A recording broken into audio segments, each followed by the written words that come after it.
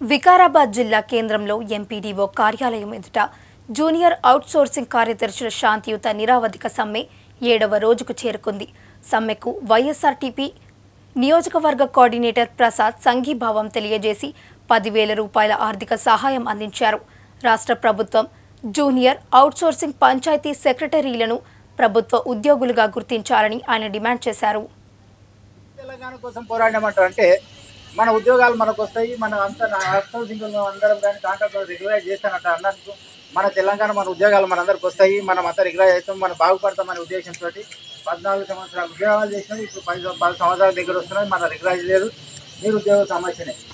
ఆ విధంగా మనం చేసాం కాబట్టి తెలంగాణ జయగొడుతున్నాం కానీ మనం జయగొట్టుడు కానీ ఉన్నాము సారు లేమో అక్కడనే వాళ్ళ ఉద్యోగాలు వాళ్ళకే నడుస్తున్నాయి. అలాంటి తెలంగాణలో మనం ఇంకా బతుకుతున్నాం ఈరోజు. అంటే ఎంత దురదృష్టమైన కరం ఈరోజు నిజంగా చూస్తే మనం అందరం అందరూ కూడా గమనించవలసింది ఏం జరుగుతుందో తెలంగాణలో? ఎటువైంది తెలంగాణ? తెలంగాణ ఏ ఎక్కడ ఏది నడుస్తున్నదా? మనం ఏమనుకున్నా తెలంగాణ ఏ విధంగా వచ్చింది? ఇప్పుడు ఏం జరుగుతున్నది మనం అనేది చూస్తాం. ఇంకా ఈ విద్యావంతులు ఈరోజు ఇక్కడ చూడండి అందరు కార్యకర్తలు ఇంతమంది పనిచేస్తున్నారు.